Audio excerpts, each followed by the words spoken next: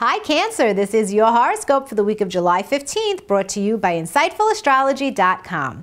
Cancer, on Tuesday, Mars and Pluto will be at a tense square to one another, and you and a spouse or partner might get into some kind of domestic squabble over this. Try to keep it in perspective and not lose your cool. You could regret that.